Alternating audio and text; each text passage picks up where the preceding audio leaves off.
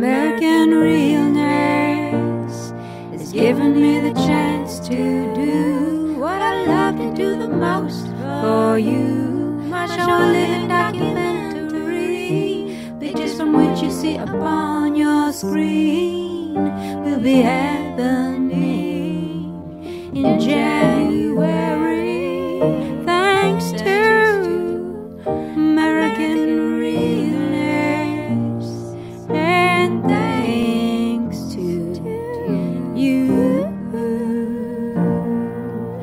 you